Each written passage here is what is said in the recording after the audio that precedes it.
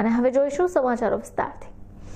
સુરતમાં તાપી કિનારા સહિત સુરત શહેરના અન્ય વિસ્તારોમાં પણ શિયાળાની શરૂઆતની સાથે જ વિદેશી પક્ષીઓનું આગમન થઈ ગયું છે.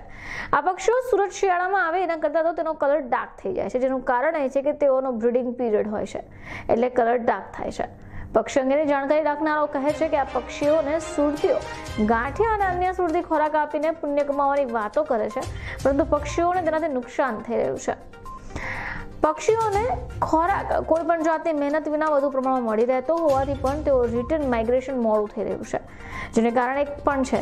આ વિદેશી પક્ષીઓને ખોરાક સરળતાથી મળી રહેતો હોવા ઉપરાંત તાપી કિનારે કેટલીક જગાઓ પર તેમને રહેવા માટે ઉત્તમ બની ગઈ હોવાથી. હજી પણ થોડો સમય આ પક્ષીઓ અહીંયા જોવા મળશે તે નક્કી છે.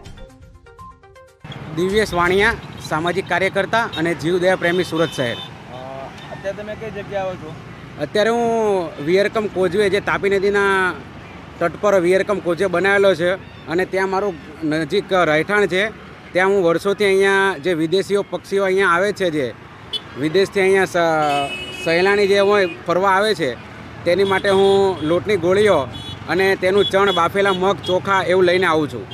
અને મારી ખાસ એવી અપીલ છે સુરત શહેરના જીવદય પ્રેમીઓ અને પક્ષી પ્રેમીઓને કે તમે એને ફરાળી ચેવડો, ગાંઠિયા કે એવી તળેલી કે તીખી વસ્તુઓ એને ના નાખો. કેમ કે એ એના શરીરમાં જવાથી એને નુકસાન થાય છે અને ખાસ કરીને ખાસ કરીને વૈજ્ઞાનિક કારણ એ છે કે આ જે વિદેશી પક્ષીઓ છે, તે લોકો જો આપણો તળેલો ખોરાક ગાંઠિયા જેવું ખસે, તો એ લોકોને પ્રજનન શક્તિ એટલે કે એ લોકોને ઈંડા મૂકવાની શક્તિ અને એ લોકોને આગળ બચ્ચા મૂકવાની શક્તિ, એ લોકોની મરી પરવાશે એટલે એ લોકોમાં એક નપુંસકતા આવશે.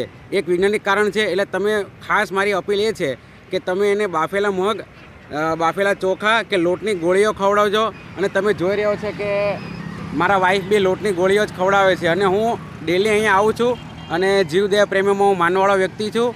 અને દરરોજના હું સોળથી સત્તર કૂતરાઓને અને બિલાડીઓને પણ મારા ઘરે ભોજન કરાવું છું.